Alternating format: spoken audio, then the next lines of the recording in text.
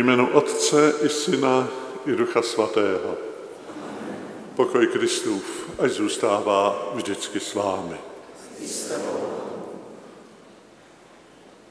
Oče arcibiskupe, rád bych vás naší, jménem naší farnosti přivítal co nejsrdečněji tady u nás a chci vyjádřit velkou radost, že se tady mezi náma je to, jako kdyby přišel Kristův apoštol.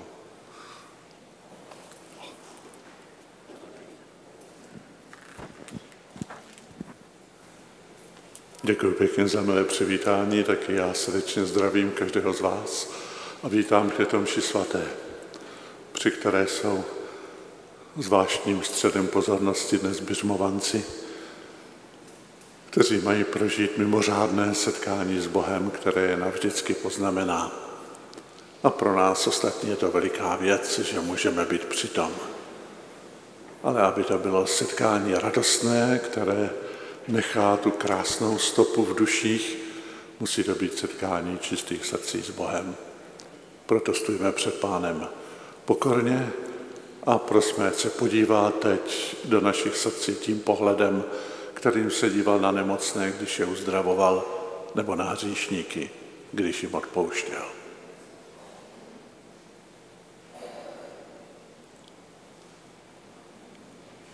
Vyznávám se všemohoucímu Bohu a vám všem, že často hřeším myšlením, slovy i skutky a nekonám, co mám konat. Je to má vina, má veliká vina. Proto prosím Matku Boží, Panu Marii, všechny anděly a svaté, i vás, bratři a sestry, abyste se za mě u Boha přimlouvali. Smiluj se nad námi, všemohoucí Bože, odpust nám hříchy a doveď nás do života věčného. Pane,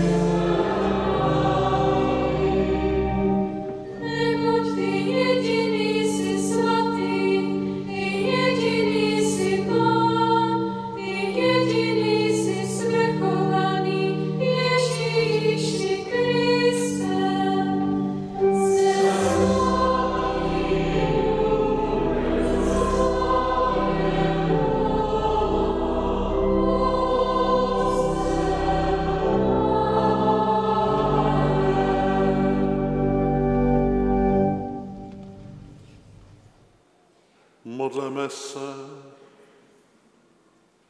Bože, ty nám se síláš svého svatého ducha, aby nás osvěcoval světlem pravdy. Dej, ať nám tato jeho pomoc nikdy nechybí abychom se dobře rozhodovali a správně jednali. Prosíme o to skrze Tvého Syna Ježíše Krista, našeho Pána, neboť On s Tebou v jednotě Ducha Svatého žije a králuje po všechny věky věků.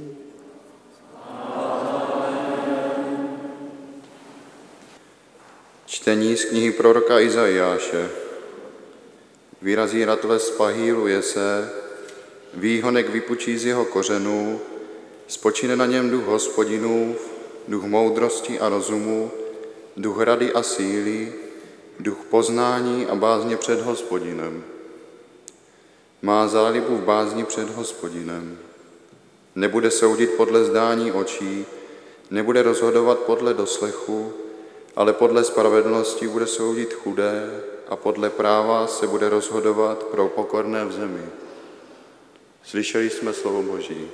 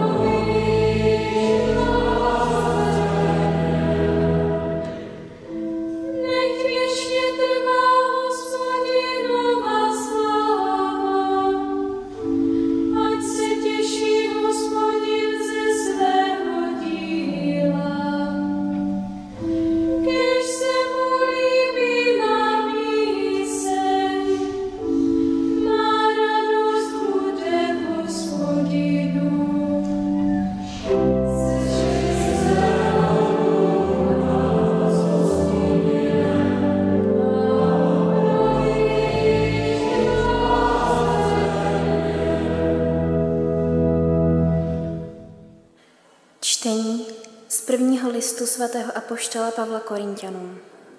Bratři, buď pochválen Bůh a Otec našeho Pána Ježíše Krista. V něm si nás vyvolil ještě před stvořením světa. Skrze něho se dostalo i vám potvrzení od slíbeného Ducha Svatého, když jste přijali slovo pravdy, radostnou zvěst o své spáse a když jste v něho uvěřili. Duch je zárukou, že nám jednou připadne dědictví, tak se dovrší naše vykoupení, protože si nás Bůh získal jako svůj majetek, abychom sloužili ke chvále jeho božské velebnosti. Slyšel jsem, jak věříte v Pána Ježíše a jakou lásku projevujete všem křesťanům, a proto nepřestávám za vás děkovat, když na vás vzpomínám ve svých modlitbách, aby vám Bůh našeho Pána Ježíše Krista, Otec slávy, udělil, dal mu, udělil dar moudře věci chápat a jejich smysl odhadovat. Takže budete moci mít o něm správné poznání. On ať odsvítí vaše srdce, abyste pochopili, jaká je naděje těch, které povolal, jaké poklady slávy skrývá křesťanům jeho dědictví a jak se ukazuje na nás, na věřících, jeho nesmírně velká moc. Slyšeli jsme slovo Boží. Pán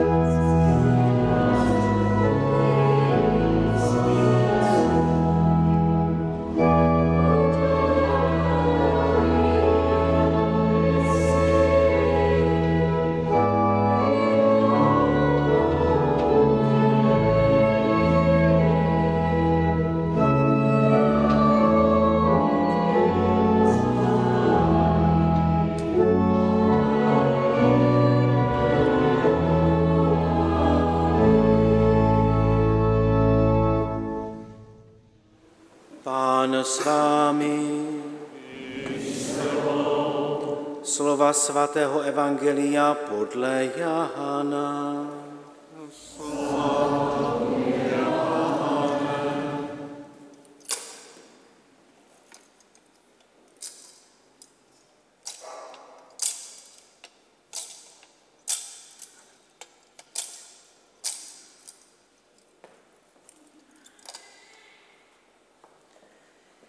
Ježíš řekl svým učedníkům, kdo mě miluje, bude zachovávat mé slovo a můj otec ho bude milovat a přijdeme k němu a učiníme si u něho příbytek. Kdo mě nemiluje, nezachovává moje slova. A přece slovo, které slyšíte, není moje, ale mého Otce, který mě poslal. To jsem k vám mluvil, dokud ještě zůstávám u vás. Ale přímluvce Duch Svatý, kterého Otec pošle ve jménu mém, ten vás naučí všemu a připomene vám všechno ostatní, co jsem vám řekl já.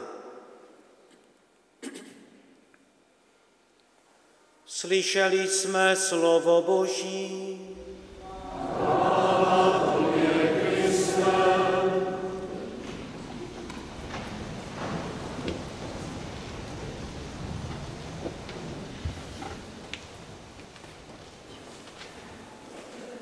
Milý oče arcibiskupe Jene, je mou milou povinností vám nyní představit 56 kandidátů, kteří touží přijmout tu velkou svátost, svátost křesťanské dospělosti, svátost běžmování.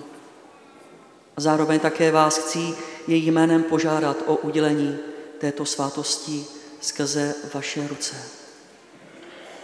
Jak už jsem říkal, je 56 kandidátů.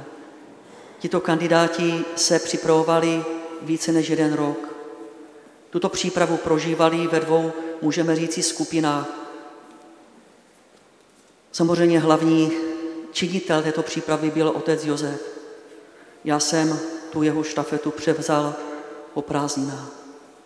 Ale co jsem mohl poznat všech těch 56 kandidátů, tak můžu dosvědčit, že skutečně to myslí upřímně a opravdově. Z těchto 56 kandidátů je 45 z farností Uherský Brod. Dále je to, jsou to dva kandidáti z farností Bánov, jedna kandidátka z farností Frišták, jeden kandidát z farností Prakšice a šest kandidátů z farností Újezdec.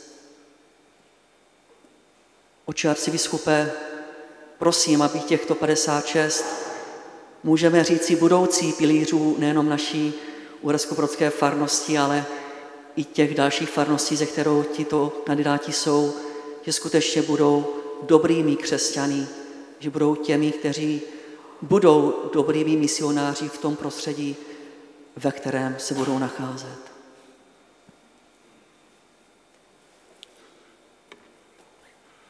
Děkuji, Oče, za představení, i když já bych si to poprosil doplnit. Mohli by se postavit běžmovanci na chviličku, abych viděl, kteří to jsou, ty první v kroji odhadnu. Výborně, děkuju. Děkuji za svědectví o jejich připravenosti a vám chci poděkovat za vaše dopisy, kterými jste ukázali o sobě dost. Někteří pochybovali, jestli to vůbec čtu. Čtu poctivě všecko. Zvlášť si poděkovat těm, kteří si s tím dali víc práce a opravdu otevřeli srdce.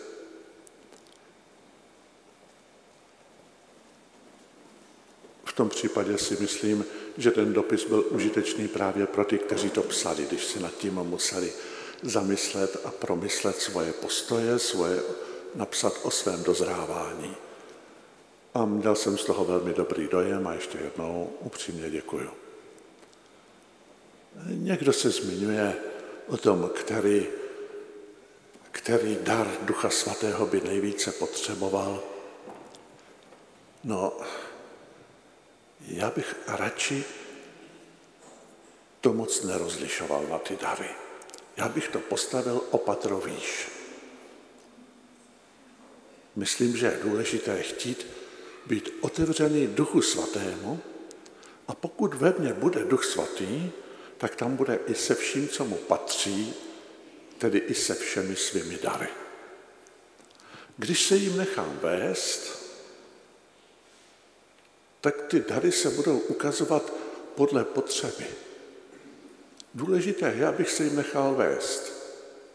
Slyšeli jsme v závěru Evangelia, jak Ježíš slibuje, že sešte Ducha Svatého a ten vám připomene všecko, co jsem říkal, ten způsobí, že tomu budete rozumět. Proto byla důležitá příprava, aby měl Duch Svatý co připomínat. Proto jsem chtěl, abyste si pročetli aspoň některé evangelium a přes to evangelium se vlastně podívali na Ježíše. Protože z jeho slov i z jeho činů, z jeho jednání, které se tam popisuje, vidíte, jaký on je, jak myslí. A mít ducha svatého znamená mít stejného ducha, jakého má Ježíš. Ježíš je plný ducha svatého. A jestli ve mně bude přebývat Ježíšův duch, tak bych měl být asi nějak Ježíšovi podobný. Jistě ne tím, že se budu oblékat jako on tenkrát třeba.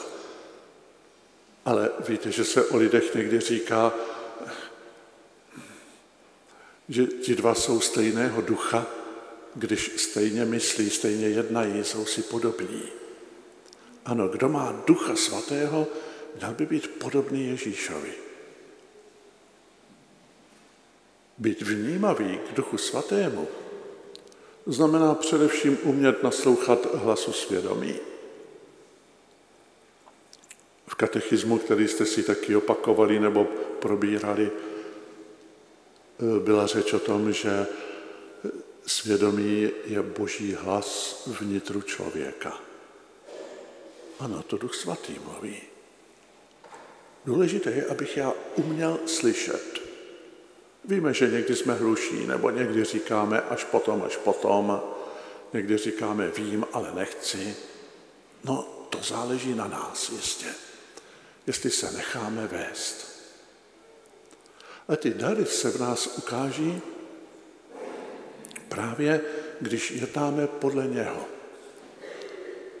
Víckrát jsem v životě zaregistroval obdiv starších lidí vůči mladému člověku, kdy se ptají, kde se to v něm bere, že jedná tak rozumně, tak moudře, lid nemá zkušenosti životní. Tu zkušenost tam nahradilo právě to vedení Duchem Svatým. A proto je asi dobře, aby se člověk i dál cvičil, nejenom v té přípravě, kterou jste dělali, ale i dál pokračovat v tom, pane, jak ty bys to dělal na mém místě? Když se rozhodujete o jakékoliv věci, nebo co, se tobě víc líbí? Tím se učíme hlouběji spojovat s Ježíšem a necháme se jim vést. Stejně tak nás vede Boží slovo. To, co slyšíme z Evangelia, a připomeňme, že církev učí, když se při bohoslužbě čte Boží slovo, to k nám mluví sám Bůh. A to Boží slovo znamená, že On je v tom slově přítomný. Když já Boží slovo nejenom slyším jedním uchem tam a druhým ven, ale když ho taky vezmu vážně a jednám podle něho,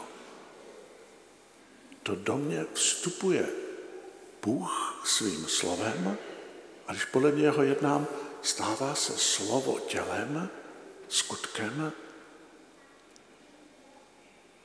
a mě to dává obro, příležitost obrovské zkušenosti božího působení v mém životě.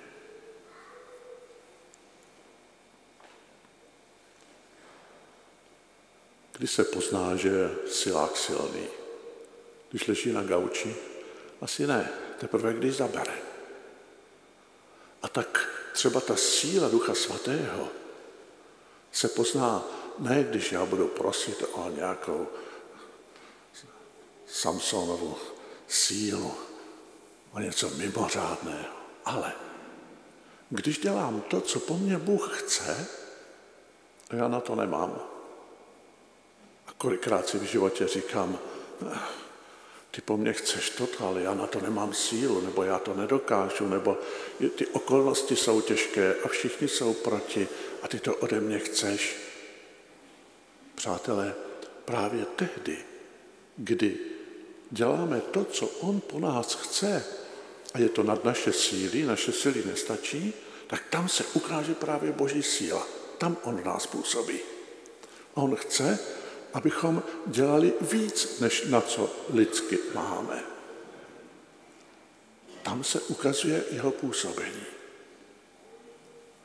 Tak to zakusili apoštolové.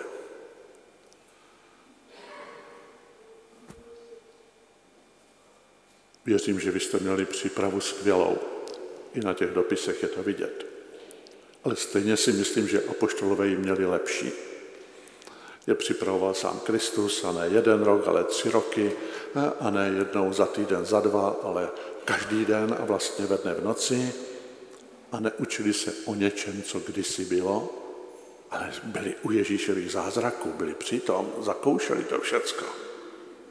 A přesto, když přišla tvrdá zkouška, tak jak to dopadlo? Jeden zradí, jeden zapře, ostatní utečou, pod křížem stojí jenom Jan. Dokonce z mrtvých stali musí přijít zavřenýma dveřma, protože jsou ze strachu pozamykaní. Ale když přijde Duch Svatý, tak najednou se stane obrovská změna. Ten ustrašený Petr, kterému se klepali kolena eh, ještě před dvěma měsíci před obyčejnou vrátnou, ten vyjde plný odvahy ven před zástup lidí a řekne jim tvrdou pravdu do očí. Tehdy říct Židům, že Mesiáš, na kterého s velkým napětím čekají, přišel a oni ho nepoznali a nechali, nechali zabít, to si koledoval o to, že ho ukamenují na místě jako rouhače. To bylo velmi silné téma tenkrát. Ale on v síle Ducha Svatého má odvahu říct tuto pravdu. A Duch Svatý působí nejenom v něm, ale i v tom zástupu, který se ptá, a co teda máme dělat, abychom to napravili. A když jim řekne, no musíte uvěřit v Ježíše jako Mesiáše a v jeho jménu se dát pokřtít, tak tisíce žádají o křest. To je působení ducha. Na to Petr neměl lidské síly, lidskou moudrost, lidskou odvahu. Ale pán to po něm chtěl a on riskoval a vydal svědectví. A pán ukázal, že on pak působí. A tak bychom mohli projít dějiny církve a ukázat na spousty svědců, kteří nechali v sobě působit Božího ducha a skrze ně se měnil svět k lepšímu. Spousta běžmovanců nebo běžmovaných nedělala církvi dobré jméno. Mnozí dělali ostudu, protože Ducha Svatého v sobě nenechali působit, nebo ho zapřeli, uzavřeli se mu. Ale o těch nestojí za to mluvit.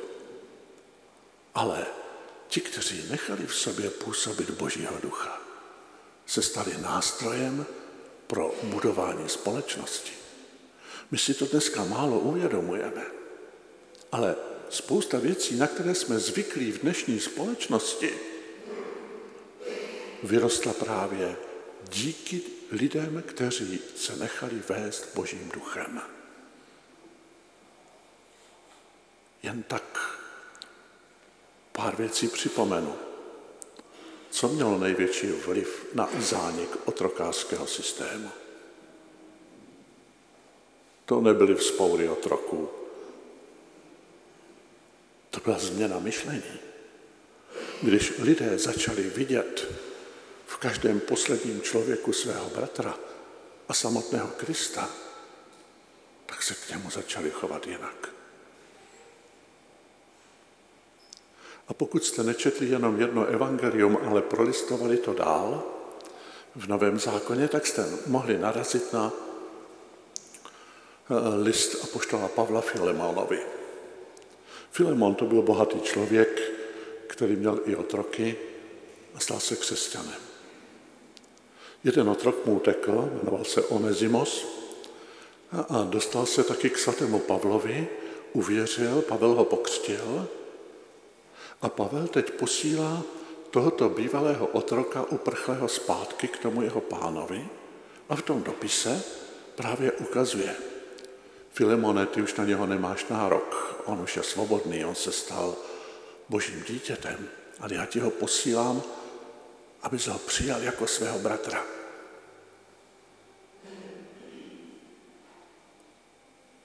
A od Onezima chce, aby sloužil svému pánovi jako samotnému Kristu. Všimněte si na tom jenom, jak bylo důležité změnit myšlení. A teď není čas na to, abychom se tématem zabývali víc, ale mohli bychom ukázat na dalších příkladech, jaký to mělo vliv na společnost. Podobně bychom viděli, kde vznikla sociální péče, u svědců, kteří v potřebných viděli Krista, kde vzniklo zdravotnictví pro všechny, zase u těch, kteří viděli Krista v potřebných. Medicína byla stará, ale sloužila bohatým a sloužila vojákům. Ale aby začala sloužit potřebným, k tomu byla potřebná změna myšlení.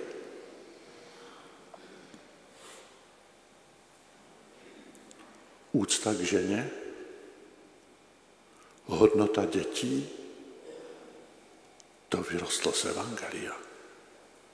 Že se to občas dostalo do krize, to je pravda, ale to souvisí s tím, že to evangelium se nežilo vždycky důsledně.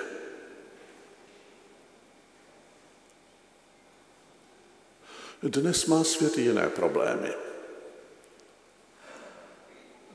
Dneska to není starý typický otrokářský systém, ale kolik se děje takových věcí, kolik je bohužel sexuálních otroků dneska.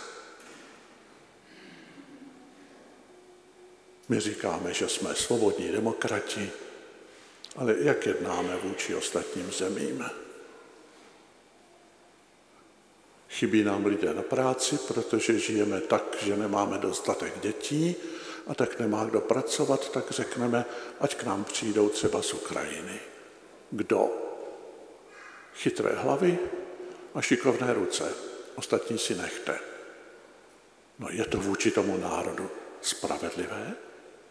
Sociální? Když jim vykrádáme nejlepší bohatství?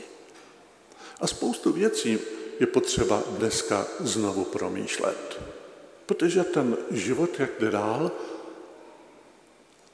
nám ukazuje, že i dnes jsou problémy, které je potřebné řešit. Nikdy nebylo tolik nešťastných lidí v manželství, kteří se rozcházejí jako dnes. A přitom se dovedou hádat potom třeba o děti a nehledí na to, jaká práva mají ty děti. Hledí na práva dospělých. Jestli si může adoptovat dítě, je, třeba homosexuální pár a nikdo se neptá, co je pro dobro toho dítěte. Ti dospělí si jenom přivlastňují svoje práva a chtějí si všecko koupit. A chtějí mít takové zákony, jaké jim vyhovují. A neptají se, co je k dobru toho dítěte, aby se správně a dobře mohlo rozvíjet. Kdyby se hledělo víc na práva dětí, tak by dospělí nežili tolik pro sebe, ale pro budoucnost. I v otázce ekonomiky a sociálního myšlení. Máme ekonomiku tak úspěšnou, jako už dlouho ne, a máme životní úroveň takovou, jakou jsme nikdy neměli, a přitom děláme dluhy. A kdo bude ty dluhy splácet? No další generace. A my máme klidné svědomí, že okrádáme ty další, protože je nevidíme, oni se nebrání, protože tu ještě nejsou. A mohli bychom hovořit ještě dlouho o dalších problémech. Ale já jsem je chtěl připomenout jako příklad a myslím, že vy znáte spoustu dalších problémů. Díváte se někdy kolem sebe kriticky? Pěřmovanci, kdo z vás někdy kritizuje? Přiznáte se? Tak těm třem věřím, tomu zbytku ne. Ne, když někdo kritizuje pořád a všecko, tak to je hloupé. Ale dívat se kriticky je správné a potřebné. A to znamená dívat se i na ten svět kolem nás božíma očima. Když kritizuju jenom podle sebe, tak se můžu hodně plést, protože mám špatný úhel pohledu. Ale když se snažím dívat na věci, jak to asi vidí Ježíš, tak mám větší pravděpodobnost, že to uvidím dobře.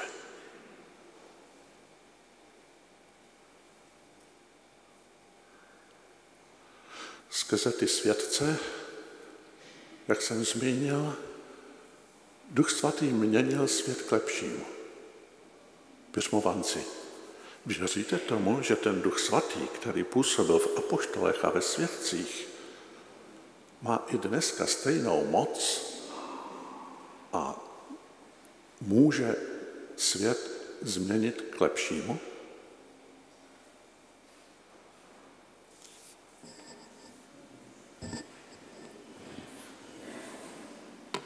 Já jsem si myslel, že ten rozhlas tady funguje. A vy mě neslyšíte. Nebo vy máte zákaz odpovídat? No, když jste měli tak dobrou přípravu, tak jste taky slyšeli o tom, že, že musíte odpovědět před všema lidma na nějaké biskupové otázky. A dokud neodpovíte, já se tady budu potit třeba do večera, ale um, běžmovat nemůžu. Takže ještě jednou. Běžmovanci, věříte tomu, že Duch Svatý má i dneska stejnou moc měnit svět k lepšímu, jako měl v dobách apoštolů a svědců? A věříte tomu, že Duch Svatý by mohl ten svět dnešní měnit k lepšímu i skrze vás? A jste ochotní s ním natolik spolupracovat, aby on mohl skrze vás změnit k lepšímu aspoň ten maličký kousek světa ve vašem okolí?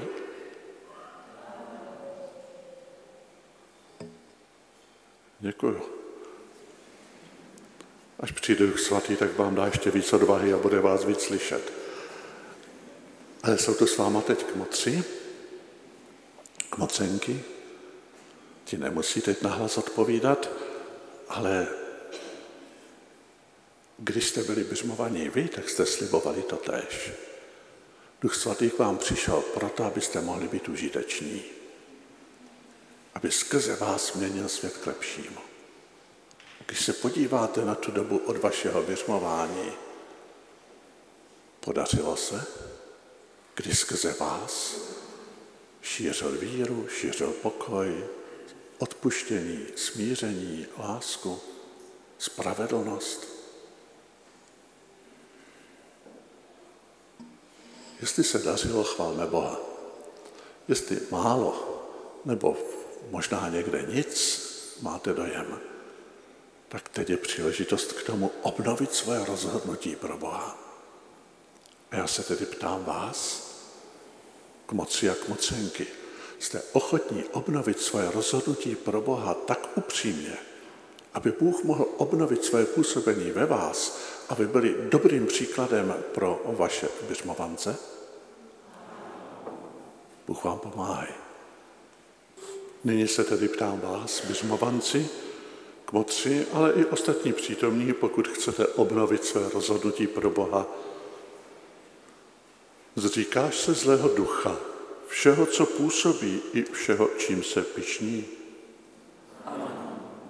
Věříš v Boha Otce Všemohoucího, stvořitele nebe i země? Věříš v Ježíše Krista, syna jeho jediného, pána našeho, jenž se narodil z Pany Marie, byl ukřižován a pohřben, vstal z mrtvých a sedí po pravici Otcově.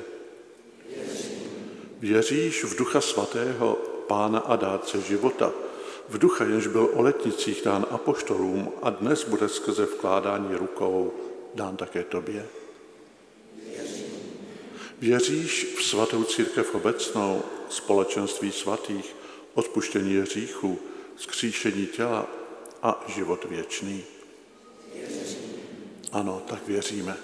Tak věří církev a tuto víru vyznáváme a ona je naší slávou v Kristu Ježíši, našem Pánu. Amen. Milovaní, skrze křest dal všemohoucí Otec těmto našim bratrům a sestrám život věčný a přijal je za své syny a dcery. Modleme se, aby jim dal dnes plnost svého svatého ducha, aby je svým duchem pomazal a potvrdil jejich poslání, jako pomazal a potvrdil svého syna, našeho pána Ježíše Krista.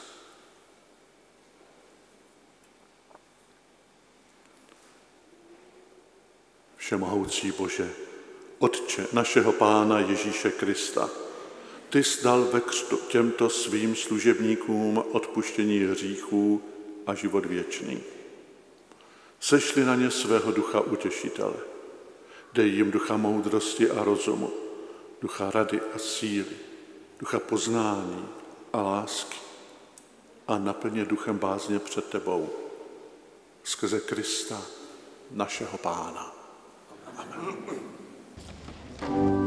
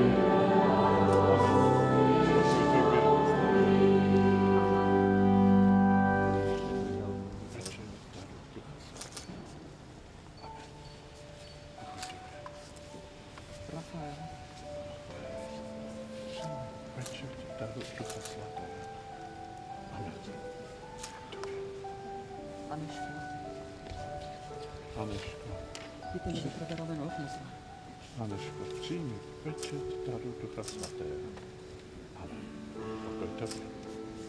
Maria Gorgi. Maria, przyjdź, bycie Ducha Świętego.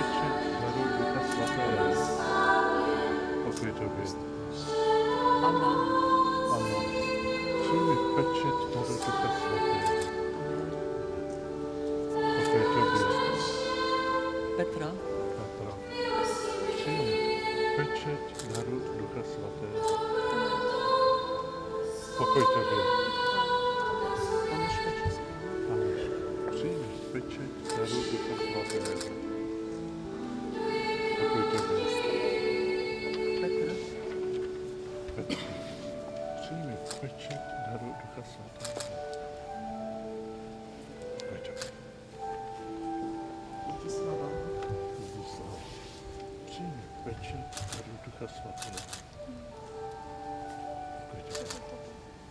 Якуб. Якуб.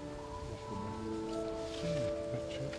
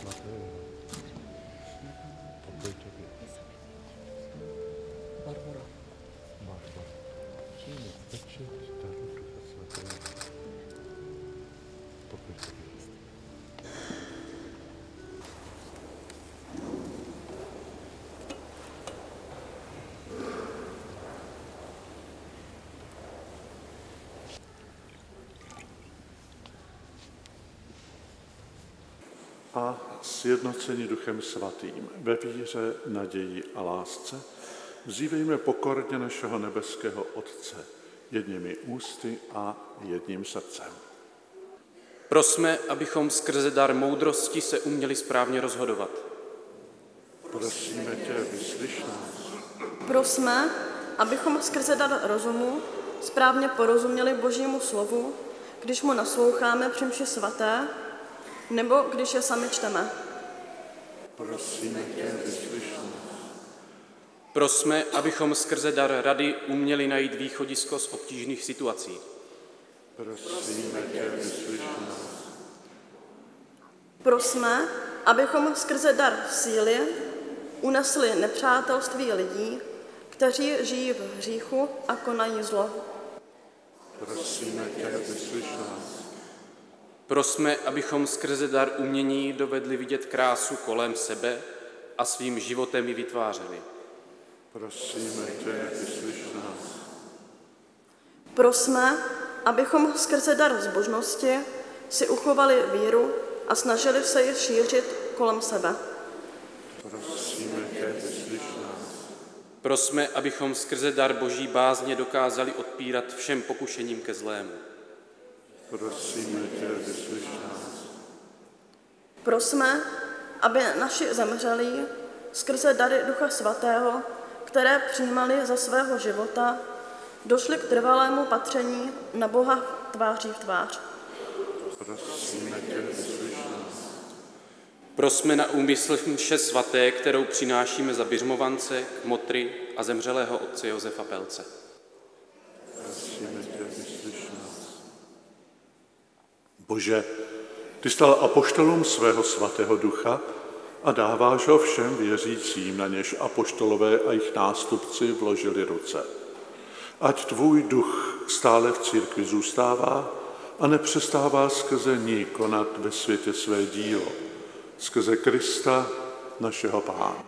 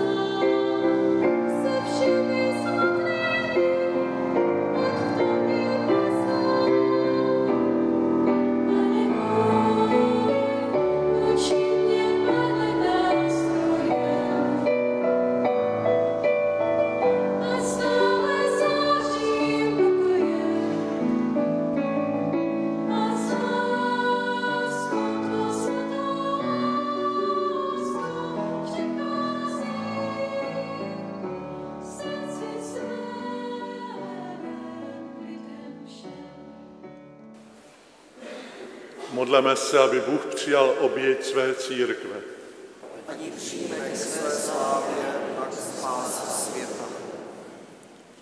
Osvěť, Bože, tyto dary, které klademe na oltář. A dej, ať všichni, jejich spojení s Kristem si utvrdil a spečetil, vydávají o něm stále účinněji svědectví a čerpají k tomu sílu ze slavení památky jeho vykupitelského díla, jímž nám otevřel pramen milostí Ducha Svatého.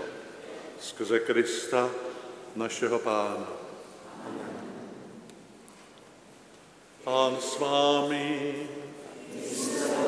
zhodu srdce, Máme je Pána. Zadávejme díky Bohu, našemu Otci. V pravdě je důstojné a spravedlivé, dobré a spasitelné, svatý Otče, všemohoucí věčný Bože, abychom ti vždycky a všude vzadávali díky. Neboť tvůj svatý duch v dějinách stále působí a vede nás, abychom naplňovali jejich smysl. Podivuhodně řídí tvou církev a nikdy ji neopouští.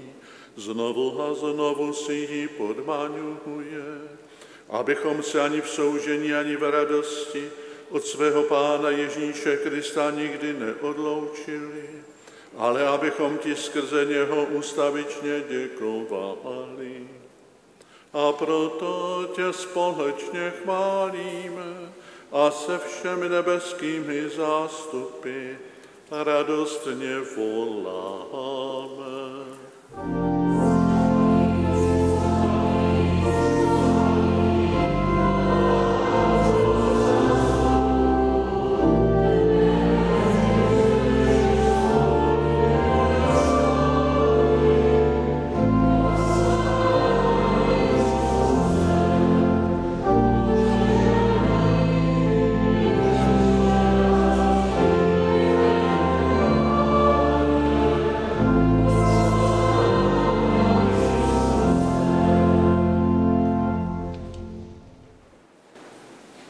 Pravdě jsi svatý Bože a právem tě chválí všechno, co jsi stvořil.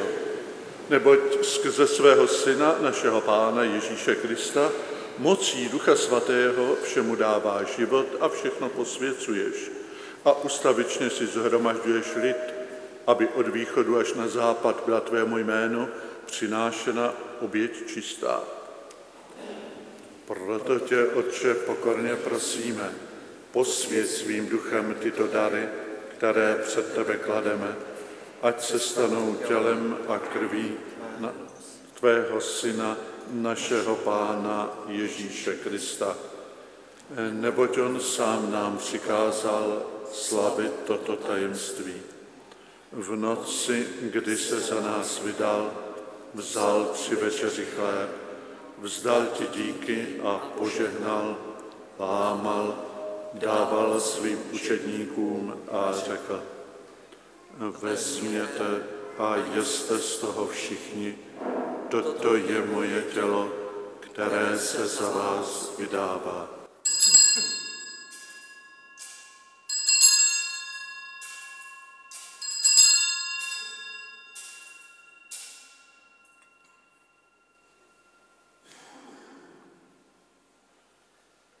Po večeři vzal také kalich, vzdal ti díky a požehnal, dal svým učedníkům a řekl, vezměte a píte z něho všichni. Toto je kalich mé krve, která se prolévá za vás a za všechny na odpuštění hříchů.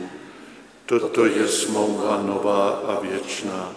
To konejte na mou památku.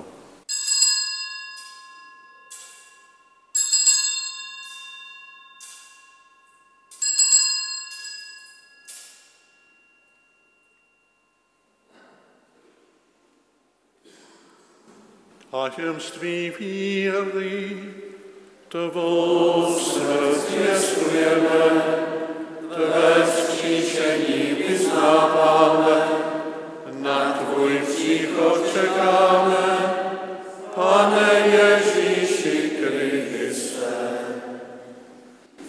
Proto na památku spasitelné smrti tvého syna, jeho vzkříšení a na nebe vstoupení, a v očekávání jeho slavného příchodu přinášíme Ti, Bože, toto díku vzdání, tuto oběť živou a svatou. Zhlédni na oběť své církve, vždy je to oběť Tvého Syna a jeho obětí jsme byli s Tebou usmířeni. A nás všechny, kdo přijímáme jeho tělo a krev, naplň jeho svatým duchem, ať jsme jedno tělo a jedna duše v Kristu našem Pánu. Skrze něho, ať se před tebou stáváme obětí úplnou a ustavičnou, abychom dostali dědictví s tvými vyvolenými, s nejsvětější panou a bohordičkou Marii, s její snoubencem svatým Josefem, s tvými apoštoly a slavnými mučedníky, se svatou Justinou a se všemi svatými, našimi zastánci a stálými pomocníky. Pro tuto oběť našeho smíření dej Bože celému světu mír a spásu. Pamatuj na svou církev putující po této zemi, upevní ve víře a lásce. Pamatuj na svého služebníka, našeho papeže Františka, našeho biskupa Jana, jeho pomocné biskupy Antonína a Josefa, biskupský sbor, kněžstvo a všechen vykoupený lid. Pamatuj také, Bože, na své služebníky a služebnice, znovu zrozené ve křtu, které jsi posílil darem Ducha Svatého a chraň v nich milost, kterou jsi jim dal. Slyš naše prosby, dobrotivý Otče, a stůj při nás, když stojíme před tebou podle tvé vůle. Smiluj se nad svými rozptýlenými syny, abychom všichni byli jedno v tobě. Přivítej ve svém království naše zemřelé bratry a sestry i všechny, kdo z tohoto světa odešli v tvém přátelství. Splň naši naději, že s nimi budeme v tobě věčně žít a vidět tvou slávu skrze našeho Pána Ježíše Krista, neboť skrze něho dáváš světu všechno dobré. Skrze něho hasním hlavně je tvoje všechna čestá sláva, Bože Hoče všemohoucí, v jednotě Ducha Svatého, po všechny věky věků. Amen. Modleme se, jak nás naučil náš Pán Ježíš Kristus.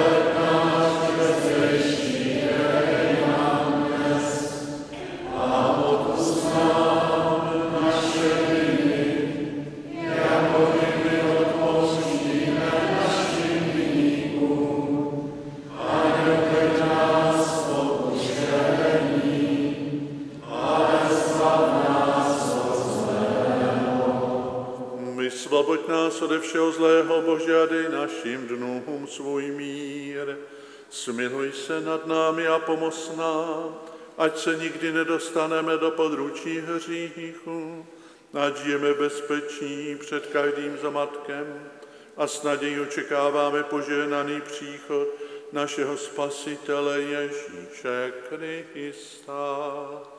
Neboť tvé je království, Pane Ježíši Kriste, ty řekl svým apoštolům, odkazuji vám pokoj, svůj pokoj vám dává. Nehleď tedy na naše hříchy, ale na víru své církve a podle své vůle ji naplňuj pokojem a veď k jednotě, neboť ty žiješ a králuješ na věky věků. Amen. Pokoj Páně zůstává vždycky s vámi. I s tebou. Pozdravme se navzájem pozdravením pokoje.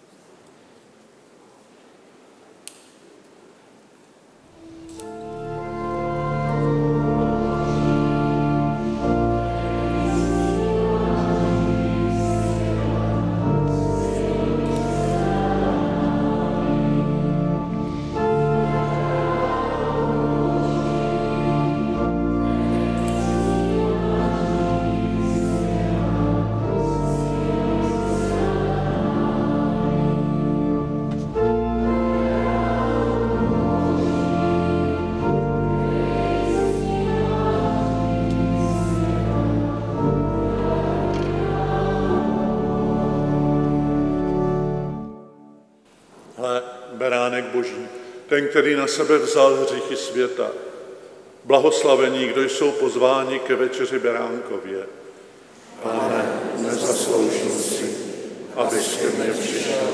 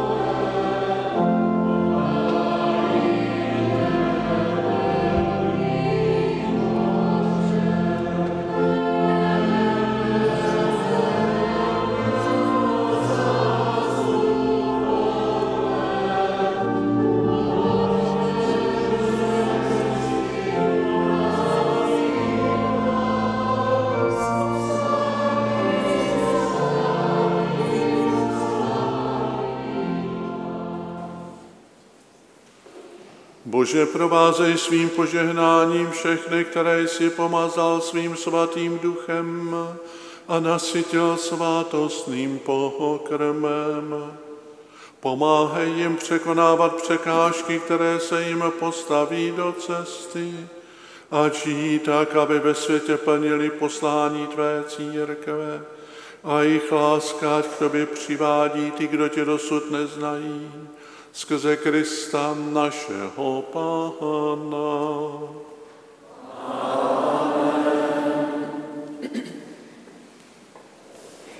Otče arcibiskupe, ještě na začátku mše jsem netušil, co bychom vám tady řekli, ale přišel Duch Svatý a stojíme tady. Doufáme, že si uděláte chuť na dort, který vám dáme a děkujeme, že jste přijel.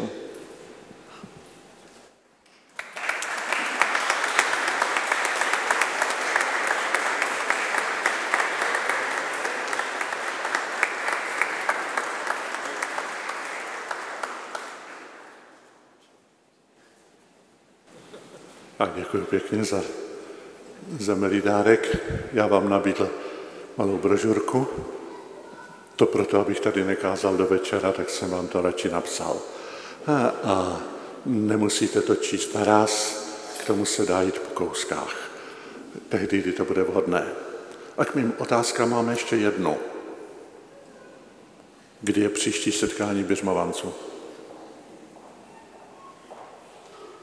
No, žádná příprava už není, to už se není na co připravovat, ale když byli Když Ježíš rozeslal apoštoly, tak se vždycky taky vraceli a vyprávěli mezi sebou o tom, co Bůh skrze ně velikého dělá. A já považuji, přátelé, za důležité, abyste se z vaší iniciativy, a když jste dospělí křesťané, tak to se na vás dá spolehnout, abyste se sešli, už se nepřipravovali, ale mezi sebou vykládali o tom, jak s tím Duchem Svatým žijete a co ve vašem životě dělá. A nezapomeňte na jednu věc. Přijali jste běžmování o misijní neděli. A každému bylo dáno proto, aby mohl být užitečný. Přemýšlejte, jak můžou mít lidé kolem vás užitek z toho, co jste vy dostali. Nechat si to pro sebe by nebylo hezké. Zkuste se o to dělit. A to tež platí samozřejmě i pro všechny, pro všechny ostatní. Při jiných bohoslužbách se dnes čte pastýřský list a já řeknu jenom jednou větou, že v tom takový apel na to, aby všichni křesťané začali myslet misijně. Papež vyhlásil příští říjen jako měsíc misií s tím, že se na to máme rok připravovat. A tak je výzva, kterou jsem dnes poslal do všech farností, abychom mezi sebou přemýšleli, ale nejenom přemýšleli, opravdu taky jednali, tak, že poneseme zodpovědnost misijní za lidi, kteří žijí kolem nás. Kolik je kolem nás těch, kteří Krista neznají? Jak je možné, že my ho, má, my ho známe a nerozdělíme se o to? To jsme tak sobečtí. K základním prvkům církve patří, že je misijní, že je apoštolská. Což znamená nejenom, že stojíme na apoštolech, ale že všichni apoštolujeme.